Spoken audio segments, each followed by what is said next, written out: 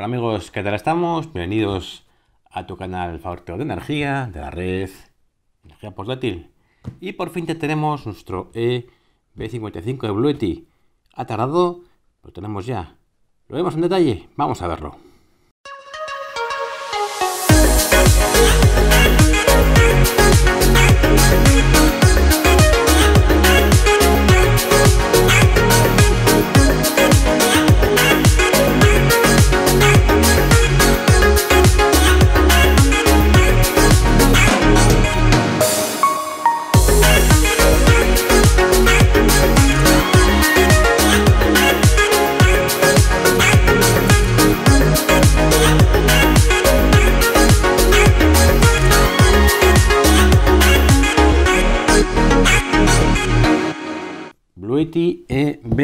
EB55. Vamos a ver si podemos verlo en la pantalla.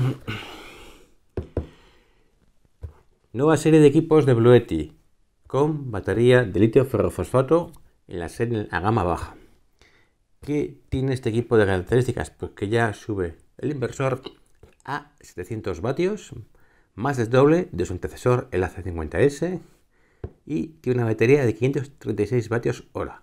Un poquitín más que el AC50S que tenía 500 vatios hora. ¿Qué más cosas tendrá? Lo abrimos y lo vemos.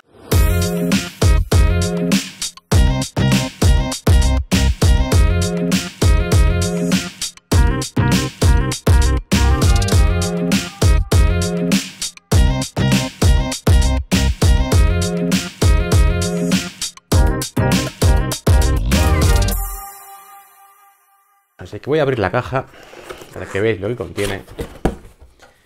Poco a poco lo enseño con detalle. Abrimos y tenemos pues caja. Con accesorios manual y garantía. Voy a ir sacando y luego lo veremos en detalle. Y aquí ya está pues el aparatito. Una bolsa de plástico el color que nos ha venido es naranja porque es el que trae nuestro patrocinador, no hay otro. En otro color tienes que coger la página de Bluetti, pero tenéis que saber que es una página que no está en España, que no hay en España soporte.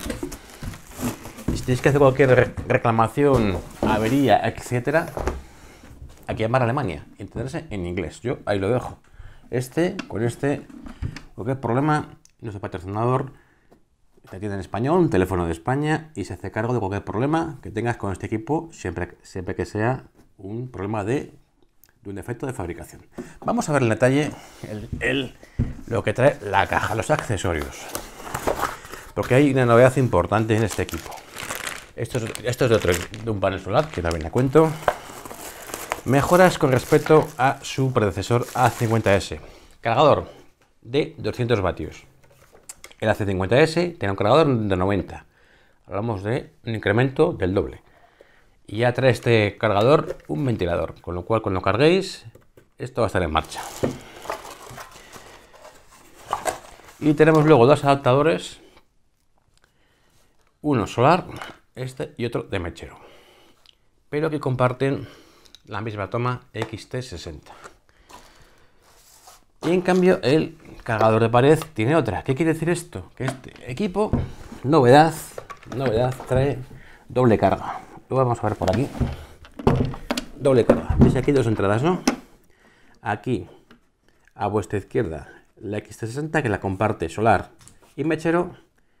Y la de la derecha, carga de pared.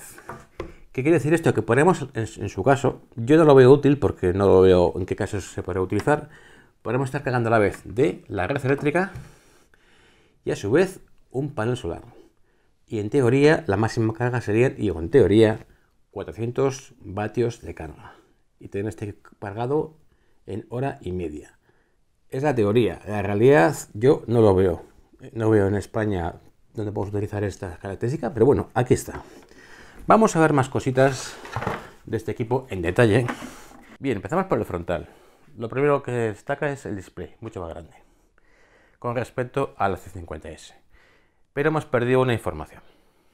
Aquí veis que tenemos dos líneas de información de entrada y salida. el anterior equipo 50S o los equipos EV150, 180, etc., la salida estaba separada entre alterna y continua. Aquí ya es común. No se puede elegir. Lo que va a indicar aquí es la suma de la, la continua y la alterna. No hay diferenciación. Y la entrada solar, no va a haber más. Tenemos un modo eco, que lo que hace es ahorrar batería cuando estamos en stand-by y podemos cambiar la frecuencia, que aquí en Europa no tiene sentido, a 60 Hz. Os voy a enseñar cómo se hace el modo eco, cómo se activa, por defecto viene puesto. Hay que apagar todos, si veis, hay que apagar todas las salidas. Pulsamos aquí a la vez y veis que va a parpadear el 50 Hz. Y aquí, si le doy aquí al botón de la izquierda donde pone el output, veis a ver que aquí va a cambiar, se apaga. Y para salir del modo eco, o de este modo de programación, pulsamos de nuevo los dos botones, estos aquí, alterna continua, y ya estaría. Yo les recomiendo dejarlo puesto porque os va a ahorrar batería cuando el, equipo esté en standby. Entonces vamos a colocar otra vez, así. Pulsamos, damos otra vez, se pone el modo eco y lo quitamos, o sabemos del modo de, configuración. Ahí, ya deja de parpadear. Los hercios no tienen ningún sentido porque en Europa trabajamos a 50 hercios. Seguimos explicando el equipo. En continua, ¿qué tenemos? Una salida USB-C de 100 vatios. Evolucionamos de 45 vatios del equipo 50S a 100, más del doble. Cuatro tomas USB-A de 3 amperios cada una. En continua, dos salidas de 10 amperios, toma mechero 10 amperios, 12 voltios con tapa marina. La gran novedad, inversor de 700 vatios en alterna con dos chuco. Hablamos de más del doble de la C50S. Por eso este equipo ya gama baja, yo no lo considero gama baja, sino es gama a es gama media. Repetimos otra vez, en el input tenemos dos entradas, aquí la alterna, y aquí solar y mechero. Y aquí que hacer una puntualización que ningún canal está cayendo en el detalle y lo veremos cuando hagamos la prueba de paneles o los paneles que mejor van para este equipo. Y os anticipo que no van a ser ni de Bluetti ni de su segunda marca Powerlock. ¿Qué pasa con esta entrada? Si lo veis aquí, no sé si lo va a ver la cámara bien, pone 12, 28 voltios a 8 amperios. ¿Qué significa esto? Pues que la máxima entrada solar, visto el mercado de paneles solares plegables que hay, va a estar en torno a 160 vatios. Por ejemplo, la marca Bluetti esos valen más de 500 euros, de 200 vatios, trabajan a 20 voltios y 10 amperios. Quiere decir que en este caso entrarían 20 voltios por 8, son 166 y las pruebas que he visto en vídeos americanos, el mejor ratio que ha dado esos paneles en este equipo son 146 vatios. Entonces, ¿por qué gastarte en un panel esa cantidad cuando reales te van a dar 146 vatios. Ya el equipo te va a cortar a 160 y pico. ¿Mm? A 160. Entonces, ahí lo dejo. Y esto va a ser lo que va a condicionar en el siguiente vídeo que hagamos, que es el mejor panel para este, a mi entender, para este equipo. En los canales que han analizado este equipo, que son, no son muchos, no han hablado nada de esto. Vamos a seguir con este equipo, vamos a dar la vuelta. Aquí tenemos un ventilador. Bueno, el material está hecho es todo plástico, todo. El AC50S tenía todos los bordes, eran de goma, había naranja, color azul, pero una parte de goma, aquí es todo plástico. Atrás tenemos una luz LED con tres posiciones, larga. Y aquí vamos a dar la vuelta al equipo. Tenemos un cargador inalámbrico de 15 vatios. No, yo no tengo móvil inalámbrico, así que no puedo probarlo. Y esta carga es igual a igual a la que tiene disponible el hermano mayor AC200P. Y básicamente esto es el equipo, no tiene mucho más. Novedades, la batería que, que veis de que está de 7 vatios hora, litio ferrofosfato. El fabricante Bluetooth nos garantiza 2500 ciclos de vida. Con respecto a su hermano mayor, o por ejemplo, hermano pequeño, el C50S, hablamos de mil ciclos más. Es un montón. Con lo cual, insisto, este equipo ya de gama baja no lo considero. Su siguiente hermano mayor, EV70, que vendrá a España en noviembre, ya trae batería a 24 voltios. Inversor el mismo y batería de 716 vatios hora. Y luego cambias la luz, la luz de LED, que es una frontal, un foco frontal, y tiene evidentemente, tengo para más por la batería, pero 24 voltios de batería litio ferrofosfato. Insisto, ahora mismo el mercado va por ahí. Todo lo que no sea litio ferrofosfato, en este tipo de equipos, sea esta marca, sea la que sea, por favor, no os catiméis en el precio. Si buscáis precios vais a equivocar. Todo lo que no vaya venga ya litio ferrofosfato es comprar algo obsoleto, insisto. Yo os lo advierto, luego haced lo que queráis. Y si no tenéis dinero para comprarlo, ahorradlo. No sea que acabéis comprando otro equipo porque os falla el otro. Y al final gastéis doble. Lo barato en este mundo sale muy caro. Yo advertido, advertido lo dejo. Continuamos y hacemos una carga, evidentemente, con el cargador de 200 vatios. Os, ya os anuncio que os va a hacer el ventilador, se pondrá en marcha, tiene que un LED que estará en rojo y cuando esté cargado pues se pondrá en verde. Lo va a enchufar. No sé si se oye, bueno, voy a enchufarlo ya por delante para que veáis la carga. Ahí, a cuánto empieza a cargar. Tarda un poquito en responder. 188. Ahí veis. 200 vatios de carga. Podríamos, como he dicho al comienzo del vídeo, ahora mismo conectar aquí un panel solar y sumar vatios. Pero yo no lo veo utilidad porque si estás en un entorno off-grid o desconectado, esto no lo conectas. No tiene sentido, pero aquí veis 200 vatios clavados de carga. Vamos a estrenar este equipo, que es un medidor de vatios hora. Quiero comprobar cuántos vatios hora reales tiene este equipo. De los que promete 537, cuántos son reales utilizables, porque normalmente 100% no lo está. Este tipo de pruebas tampoco lo vais a ver en ningún canal. Para esto hay que cargar este equipo a tope al 100%, enchufar y empezar a enchufar un equipo en alterna hasta que se agote la batería. Y aquí nos va a indicar vatios horas reales que van a tener este equipo. Sobre estos que marca aquí, ya os digo que no van a ser 500, van a ser menos. Ya tenemos aquí, lo veis, conectado el medidor, ya está cargado el equipo al 100%. Vamos a conectar ahora mismo pues, a los electrodomésticos. Vamos a ver cuánta capacidad real nos da de batería este EV55. Vamos a empezar la prueba y os enseñamos al final el resultado.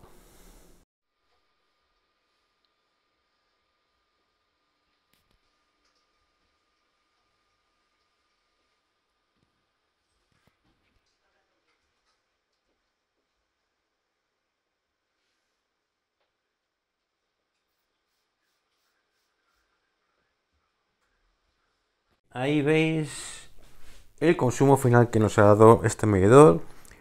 443 kilovatios hora con respecto a los 537 que anuncia. ¿Esto qué significa? Que en torno al 83%, entre un 83 y un 87%, he visto en algún vídeo americano que daba un poquito más, 25 vatios más, es la capacidad real que nos va a dar este equipo en corriente alterna, es decir, en los eschucos no está nada mal. Pruebas de descarga. Aquí os dejo una pequeña imagen de nuestro amigo Jasonoid de Estados Unidos que ha probado hasta dónde llega este inversor. 700 vatios, aquí lo veis, 726 vatios con un equipo, con lo cual está bastante bien. Tiene un pico de 1400 de arrancada, es decir, el doble, solo por unos segundos.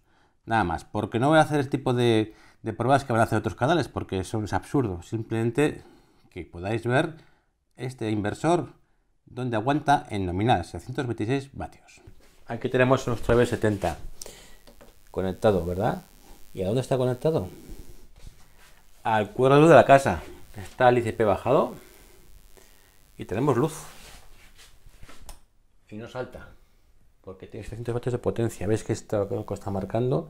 Evidentemente para apagones estas luces no son LED, lo usaremos. Pero es que tenemos nevera, aquí lo veis, nevera. En stand-by tenemos, está sin poner la hora, que se ha saltado el, el horno. en stand-by de televisión. Hemos cortado también en la televisión de stand-by. Y ahora veremos que tenemos. Eso habría que ver en un apagón que pasa. Bueno, lo hemos cortado. Podríamos en internet, ¿eh? Porque he cortado ese, ese este mm, alimentador. Pero tenemos luz en la casa. Ahí lo estáis viendo. Si queréis lo probáis, mira lo es. Tenemos luz en toda la casa que está generando nuestro EB55 que tiene un consumo de 30 vatios que creo que es la nevera que tenemos que es muy eficiente. Conclusiones. ¿Qué nos ha gustado de este Bluetti EB55? Evidentemente es la evolución. ¿La evolución de qué? De todo el entorno Bluetti. Porque esta es la entrada de todo lo nuevo que va a venir de la marca, como su hermano mayor, EB70, AC200 Max, 300 que llegarán ya para Europa a principios de 2022, en el que ya dejamos la química de iones de litio. Ahora ya todo viene con, química litio ferrofosfato. Por eso os, suelo decir, y os ya me reafirmo, que salirse de ese entorno de baterías ahora mismo es comprar algo obsoleto. La única marca fuera de Bluetooth que ya está haciendo este tipo de cosas en Europa, hablo en Europa por supuesto, es EcoFlow. Con equipos que aún no están en España. Cuidado, lo que se vende en España de esta marca aún no tiene esta química. Y tiene solo 800 ciclos de vida. Yo ahí os lo dejo advertido. Ahora mismo, realidades con litio ferrofosfato en gama media-baja. Este Bluetooth EB55. Bueno, vamos a ver lo que nos ha gustado. Sobre todo, la doble entrada de, carga. Algo que tampoco es útil, os lo expliqué al principio del vídeo, pero ahí está. Batería 537 vatios hora eh, a 12 voltios. El inversor, por eso yo este equipo ya lo demandaría gama media, porque ya duplica en algo más que el doble a su antecesor, el AC50S. Pasamos de 300 vatios a 700. La gran mayoría de lo que se vende por ahí, chino, también esto es chino, por supuesto, está en 300 vatios de los equipos baratos. Este ya 700 vatios duplica. ¿Más cosas que nos ha gustado? Pues el formato, ya el diseño ya cambia bastante. El AC50S era con goma, plástico. La luz es igual. Y también sube la carga inalámbrica a 15 vatios, cosa que el 50 era solo de 10 vatios. Tiene un ventilador. ¿Qué más cosas nos ha gustado? La carga de pared. Otro salto importante. pasamos de 90 vatios a 200, lo habéis comprobado. Con lo cual los tiempos de carga se reducen bastante en tu casa. La entrada solar. Aquí es donde empezamos con lo que no nos gusta. La carga solar. 200 vatios, pero limitada a 8 amperios. Ojo, ojo, porque esto si no sabéis elegir el panel correcto, puede daros muchos problemas. O más bien gastar un dinero que luego no vais a aprovechar. Por eso, en el siguiente vídeo vamos a analizar qué panel solar es el que mejor conviene a este generador o a su hermano EV70. Yo os anticipo que no va a ser de Bluetooth. Resumiendo, ¿merece la pena este equipo? Pues yo diría sí y no. Sí, si ahora necesitas un equipo nuevo, potente, con nueva química y te hace falta para allá, lo tienes ya. Si puedes esperar un poquito más a su hermano mayor, EV70, y por la diferencia de precio, que va a haber muy pequeñita, pero es que muy pequeñita, te merece la pena el EV70, porque ya te da la química de ferrosulfato a 24 voltios. Lo único que cambiar aquí que es la luz LED es un fuego aquí frontal y poquito más va a cambiar con respecto a este. ¿Merece la pena? Sí y no. Eh, no si usas los paneles de la marca Bluetti. Tanto 120 vatios nos parece corto y el de 200, dada esta limitación que tenemos aquí de 8 amperios, nos va a permitir la entrada de 160 vatios. Y además, esos paneles he llegado a saber, por otras pruebas en Estados Unidos, el momento que tienen una mínima sombra, pero una mínima sombra cualquier celda del panel, la carga que ha picado. Con lo cual, gastarte más de 500 euros en un panel de 200 vatios para que 160 y como tengo una mínima sombra, la carga sea ridícula, yo lo compraría. En las pruebas que vais a ver en el próximo vídeo vamos a, ver marcas alternativas que funcionan mucho mejor, más baratas y que cuando tienen sombra su forma de trabajar da muy vueltas a los de la propia marca, tanto Bluetti como su homóloga Power Oak. Pues nada más chicos, aquí os he presentado este, este equipo. Estábamos esperando que llegara, ha llegado con retraso, al igual que su hermano mayor. Contento de tenerlo, ya veis que tengo dos equipos, porque este equipo lo voy a utilizar en nuestra casa si hay apagones. Ojo que esto está llegando, va a llegar. Y ya tenéis aquí el enlace, eh, aquí en la descripción, enlaces de compra con la tienda de nuestro patrocinador Tecnoburgos, tanto del equipo suelto como de los kits solares con paneles. Pues nada, dad a me gusta al vídeo, suscribiros al canal, estamos en Telegram, que por cierto ya hemos hecho nuestro primer chat de voz, celebrando nuestros mil primeros suscriptores, haremos más chat de voz, muy interesante fue el, que tuvimos el otro día, y os emplazo hasta el próximo vídeo, donde vamos a ver, os repito, qué panel solar a nuestro juicio es el que mejor se adapta a este equipo, como al que vendrá dentro de un mes